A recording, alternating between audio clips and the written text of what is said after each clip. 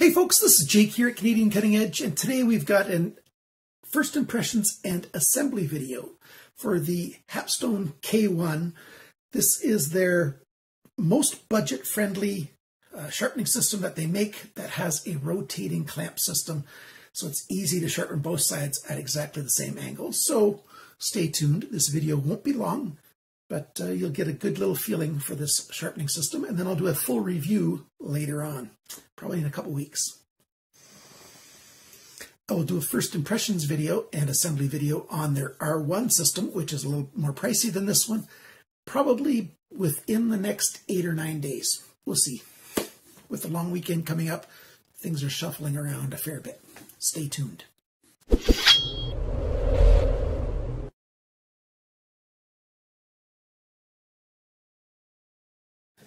Okay, so here's everything that comes with the knife. You've got these stones. I haven't unpacked them yet, but they're easy enough just to just push sideways, break the seal.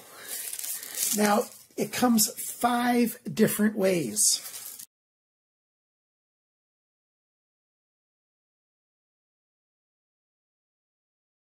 If you get it with the lowest price, you're going to get these three stones. These are just silicon carbide, uh, F220, F400, and F1200 grit.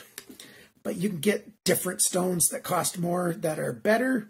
If you know you're going to upgrade your stones from these very basic ones, why not do that when you buy it and you'll save some money and there's no sense in getting these if you don't want these, if you want something else, right? So there's these basic stones.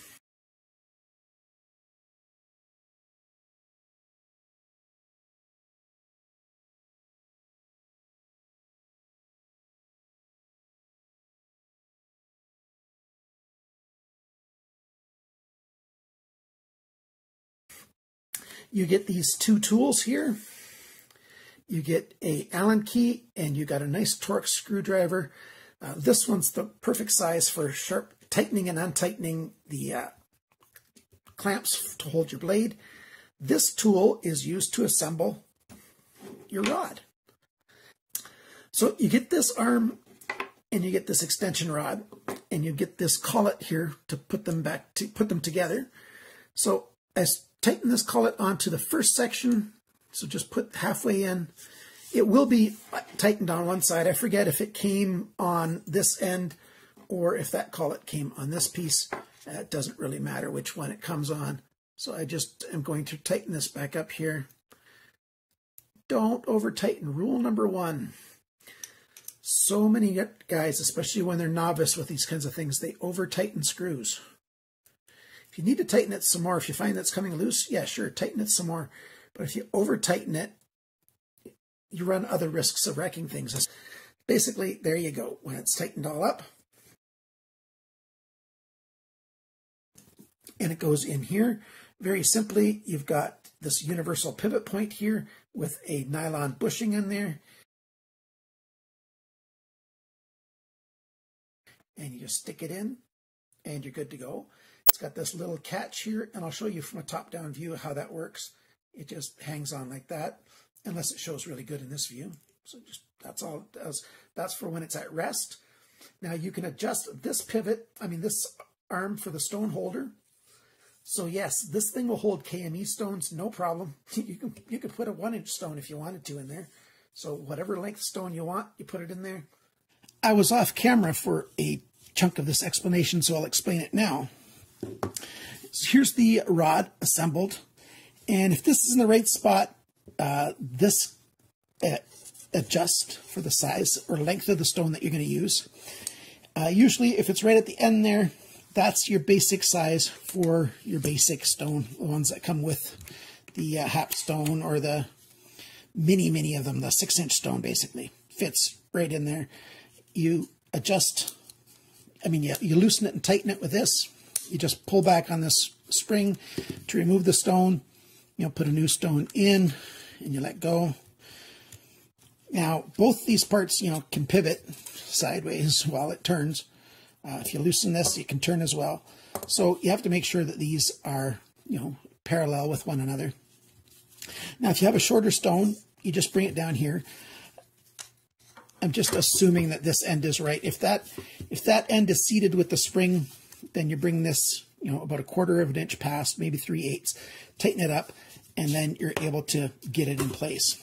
Stones that have square ends instead of having this little angle cut in them right there, that'll work just fine in here as well. They'll just uh, grip it with, uh, you know, the flat part there instead of the little notch. Works just fine either way. You can even use plain stones that don't have a backing at all. I just don't recommend it because you're putting extra stress on the stone when it's being squeezed. Then, uh, you know, that's just a personal thing of, of mine. I prefer having stones with a backing. Now, if you spend a little bit extra, and I am going to recommend you spend some extra and get the second clamp. The first clamp just sits in the middle all by itself right there. Um, I do wish it was just a little bit wider. If it was another quarter inch bigger, an eighth on either side, that would be beautiful. Uh, but this stone can be put on either side and can be put fairly close to the middle all the way out to the other edges. And um, the extra money that this costs is very highly recommended. And uh, you know, if you can afford two of them, well, then you're starting to get diminishing returns. It can be good to get two of them, but uh, you don't really need two of them. So it's just a thumb screw on there, and you push this back and you just tighten up the thumb screw. And I'm not going to put it fully tight because when you loosen it up, you can then slide it over to wherever you're going to need it, and then you tighten it down. And that's the assembly. And the how-to, I'm going to do another video on how to use it, how to use these clamps. But basically, I've done it. I've used other stones that fit, and I've sharpened a few knives on this. I really like this. The detent for the pivot, change the strength of that detent by adjusting this screw here. So that's a really good thing if you need it stronger or not. Now it is fairly low to the table, so if you are close to um, if you're over the edge of the table and you've got something long, you might have to pivot it one way and then pivot back the other way instead of just being able to pivot it, you know, all the way around each time. If you got a longer knife, especially, you'll have to do that. Now, one more thing. Oh, I didn't tighten that up good enough. There you go. My mistake. I need to put that in better. I didn't get it right in the middle, but that's besides the point for me right now. I make mistakes too. Uh, what was my point? Ah, the feet. It comes with these feet in this position in the box. And I like them basically straight out to the sides. And then you can use the screwdriver that comes with the unit to snug them down. You don't need to make the screws very tight, just snug them down a bit. And, you know, then they're out like this. Uh, some people might want them a little bit like that. But if you put them straight to the sides, uh, that's the most stable uh, position you can put them in. So it's very stable side to side. It's very stable, stable up and down that way and adjustable. So that's quite good. I like this quite a lot. This setup is very convenient for if you're traveling a fair bit. Um, I'll probably be taking this one with me this summer when I go visit my family because they always want me to sharpen their knives and stuff. Nice small package, uh, easy to carry, easy to take uh, anywhere you want. Uh, your room that takes up space is you know all your stones. By the way, you also get this permanent marker that comes with it if you hadn't seen my introductory video. And the permanent marker is really good for just marking the cutting edge. And then you take your stone and you slide your stone over the cutting edge to help find the angle if you want to match the angle. I do recommend that you buy a digital uh, digital angle finder. I will show you in the how to use this video, which will be the how to and review video, how to use a digital angle finder. It works well. I totally recommend this. If it's within your budget, that's great. If you've got more money to play with, I am 100% convinced that I'm going to be recommending the R1 even more. I've played with the R1 as much as I have played with this K1. So if you've got more money to spend and you like this basic kind of setup, uh, that one's going to be even better. It's got wider clamps, uh, more versatile, can handle larger knives. You know, that's about it for this. So stay tuned to my channel for the how-to and full reviews of the new Hapstone systems that have come out recently. Also, if you're going to be in, in Atlanta in the beginning of June for Blade Show, I will be there with Gritomatic and Hapstone. Uh, they share a booth uh, because those two companies are related. And I'll be showing people how to use these systems and talking about, you know, Hapstone and Gritomatic stones. I'd really like to see you there. And just before I end, you know, I will put measurements of different things, of different parts of this on the screen when I do the, uh, actually I should do that here. Uh, the length of this is, you know, just under seven inches. The total width, if you're using that whole width, is about eight and a half inches.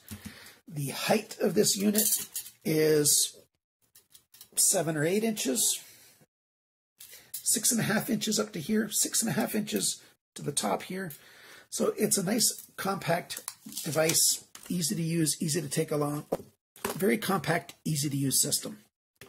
Thanks for watching my videos. Thanks for sharing them with your friends, liking, commenting, subscribing. And remember, guys, always cut towards your chum, not your thumb.